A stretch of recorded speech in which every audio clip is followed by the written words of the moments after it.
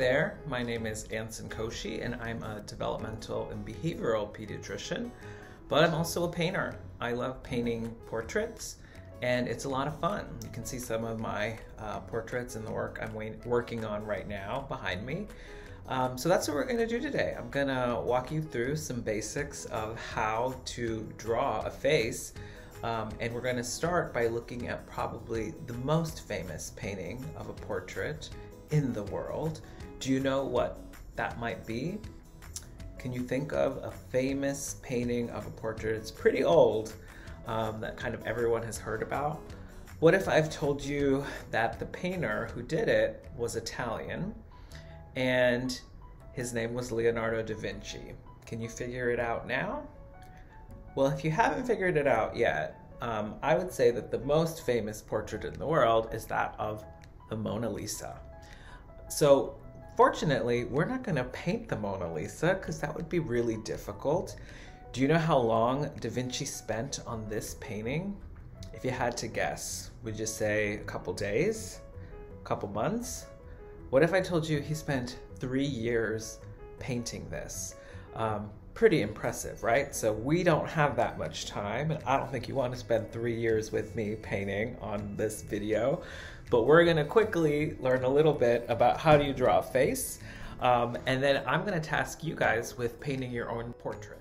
Okay, so let's get started.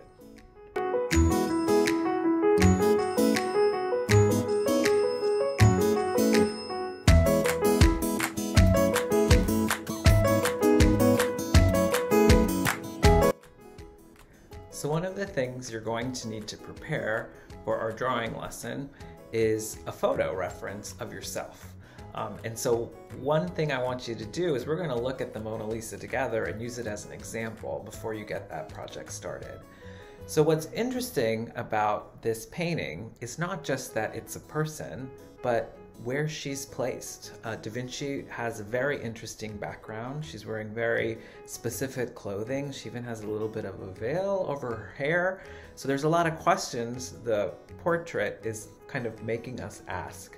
So you can tell a story by all of those things, uh, what the subject is wearing and what's in the background.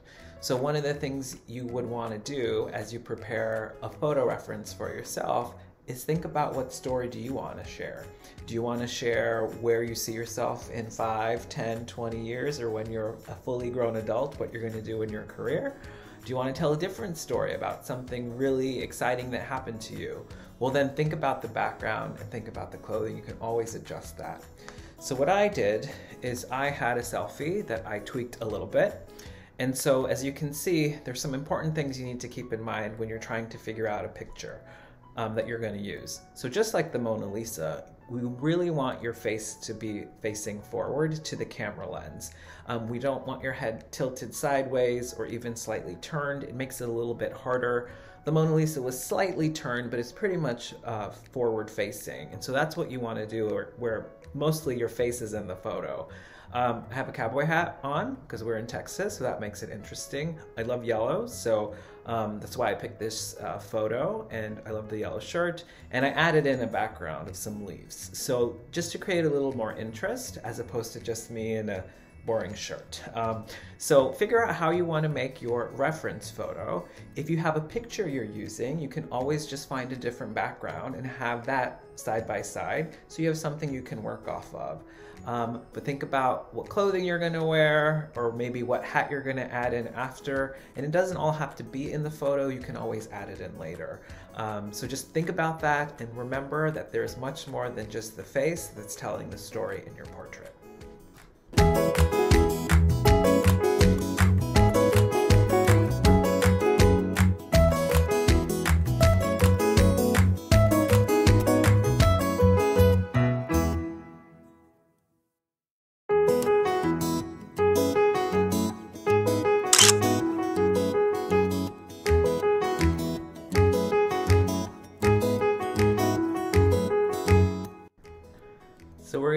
Hopefully um, show you some basics on how to draw a face.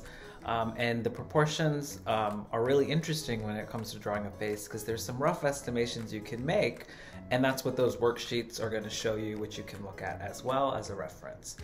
So when you're starting to draw a face, um, the first thing is you want to kind of think about the, the shape of the face. And usually it's an oval, some faces are a little more square, some are a little bit more round, but we can keep things pretty basic to start. So um, start by just using a light touch with your pencil. Um, part of it is um, I'm a big fan of erasers. You don't have to get everything right the first go round, but the lighter you draw initially, you can always go back in and make darker um, lines uh, once you're comfortable with where everything is uh, placed. So the first thing you're going to do is you're going to lightly sketch a guide. And so you want to kind of draw the oval shape of the face. So I um, kind of lightly did it in earlier. So I'm going to go in a little darker so you can see what I'm doing. So hopefully, awesome, you can see that. Um, go a little bit darker too. And so we're gonna make that oval shape. And so I have um, my reference here. Um, and so you can always look at your reference photo to make sure you're getting the shape overall. And my, as you can see, my face shape is pretty oval. Um, so I'm gonna just kind of get that in there. And then once you get that in, you can always go back and make little adjustments. I think that's one of the most important things that I learned about drawing is lots of little adjustments make the difference. You don't have to get it right in the first go round. Okay. So now that you can see we kind of have a shape going on for the face, um, the next thing is you're just gonna draw, literally cut it in half. You're gonna draw a line right down the center and then right down the center um, uh, going um, horizontally and vertically. So if we were to do that, and I'm gonna, I'm gonna do mine really dark so you can see it, um, but you don't have to go as dark when you're drawing it. So we're kind of getting a, a, center line, and then you're literally going to cut the whole thing in half. Um, so you kind of have to eyeball it a little bit. And these are just your guidelines, okay? Um, it's helpful because this is actually like it's interesting when you think about the face. Um, I often think we put the eyes up higher than they should be, but it really is right where that half point is going across. Um, that's really where your eye line is going to be. Um, so you've divided into two. Um, the next thing that you're going to do is you're going to take this division line and you're going to divide this into halves, right? So we're going to find where's the center point between here and here, and we're going to say it's like right there. We're to say where's the center point between here and here, and we're to say it's like right there. Um, and so again, following off your worksheet. Um, then you're to take this section um, from the midpoint horizontally to the bottom and you're to cut it in half and you're to draw a line right there and that line is to be the base of the nose. Then you're to take the section from that line to this line and cut it in half and we're going to get back to that one shortly. So we've got the whole face cut into a T, um, so essentially a cross. Then we've cut this section into a half, this section into a half. We cut this section into a half there, and then we took this section and cut it into a half. And so we're kind of getting a really interesting face. So the next thing you're gonna do is you're gonna draw eyes. Um, and so you're gonna use this as the center point of the eye. Um, and this line is gonna give you the guide of where the eye sits, or essentially when your eyes are closed, where that line would fall. And so you can kind of draw that shape in here. You're gonna draw this shape in here. You're gonna do the same thing over here. And again, keep it fairly rough and light. Um, kind of looks a little bit robotic at this point, but don't worry, we're gonna go back in and do the details. Um, the next thing you're gonna do is you're gonna draw a straight line um, from the brow um, all the way down to give you a guide of where the nose is. So it's literally drawing a line from the end of the eyebrow and it tells you where your nose ends. Really interesting, so we're gonna do that here. And so we did the eyes, so we're gonna just kind of make an eyebrow above it, eyebrow above it, and then we're gonna draw a line essentially um, straight. There we go. So a line from the end of the brow on the inside down to the nose, um, from the end of the brow on one side down to the nose, and so we get where our end of our nostrils are gonna be.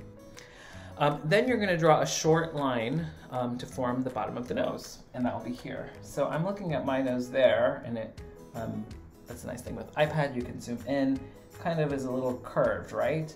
And so another tip I have about when you're looking at a picture and trying to draw a face is don't tell yourself, oh, I'm drawing someone's face, I'm drawing someone's face.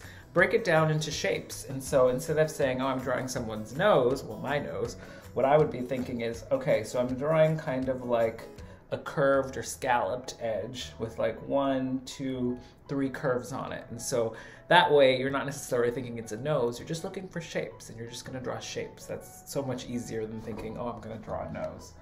So if I were to do that, it would kind of be um, a little curved there, little curve here, right in the middle. So we got a curve there, curve there, and then we got a last curve, which is going out there. Awesome. And then this bottom line is going to be essentially um, the mouth line. So essentially when you close your lips, um, what that shape looks like. So if I were to look at the photo, um, you can kind of see another great way to think about what's the proportions or where should you place it is if you look at where the pupil is and you draw a straight line, you should end up at the corner of the mouth. So if I were to go from my pupil to the end of my mouth, straight line, it tells you how wide the mouth should be. So we, let's just say the pupil is here. We're gonna go down, we're gonna go down, and that'll give you the corners of the mouth. And then um, kind of see my lips, I'm trying to draw the top lip, and then I'll draw the bottom lip. And I can already tell um, I don't have enough space here, so I may have to make my chin a little bit longer. Okay, so not the prettiest, but that's okay. That's where we get started. Um, and now I'm gonna go back and I'm gonna clean it up a little bit and then I'll show you where I'm at in a few minutes, okay? So why don't you work on yours and I'll see you shortly.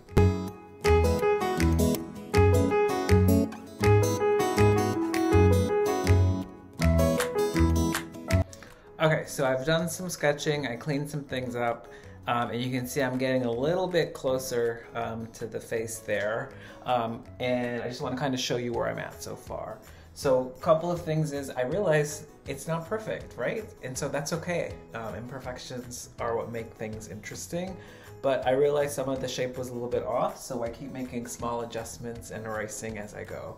So that's really key couple of other quick tips when you're drawing eyes um, and the nose and the lips is always think about the shape.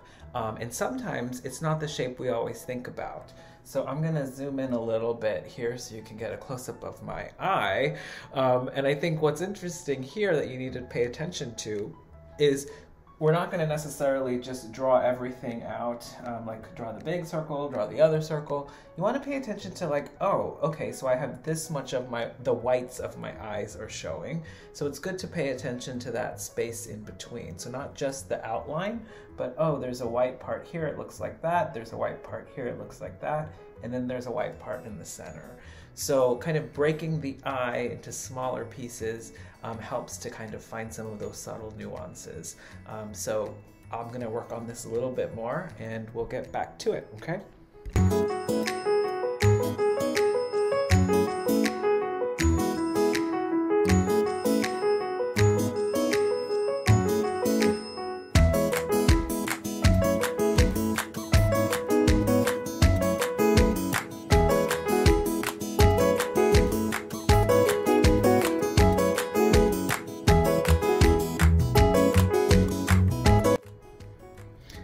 So here we are. I feel like I'm at a good uh, point where I'm going to start cleaning and adding in more details. Um, I'm a painter. I love to paint. So what I'm going to actually do is I'm going to apply paint to this and that's going to take me some time. Um, but I'm hoping you're at a point where you're able to kind of clean up and start to kind of see some similar similarities to yourself, I want you to keep in mind it doesn't have to look exactly like you. That's not the goal. This is meant to be fun. Um, and the more you work on it, the more you practice, the better you'll be. Um, I'm at a place where I think I'm gonna paint. I love painting, um, but you can use um, just pencil um, and you can have it just basically be uh, a pencil drawing. You could add ink to it. You could use markers. If you love to paint, you can throw paint on there. Um, you can use uh, colored pencils, whatever your preferred medium is. Um, but just have fun. That's the big takeaway. Um, hope you had a good time. I hope you learned something new. Um, I had a really good time showing you guys this. I'm actually really happy with where I'm at. So I actually learned something too that I could do this really quickly if I needed to. So thank you for teaching me that. And I hope you guys had fun. I will see you next time. Bye.